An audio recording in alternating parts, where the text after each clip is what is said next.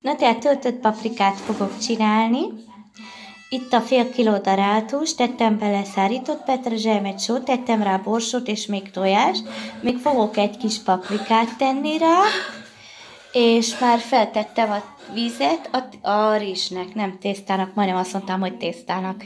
Úgyhogy azzal fogom majd összekeverni, és akkor mutatom is majd a többi részét, hogy hogy csinálom.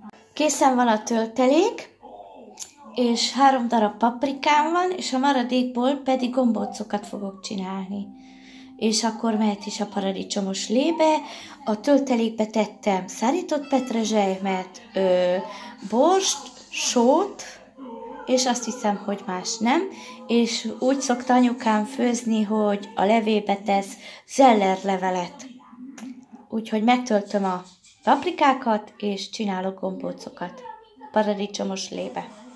Feltettem a paradicsomos lébe a mármint paradicsom, és fölöntöttem vízzel, Niki, menj be! Ö, tettem bele, ugye megtöltöttem a három paprikát, lettek még gombócok, zellerlevél benne van, még egy pici borsot rakok bele, és egy pici szárított petrezselymet.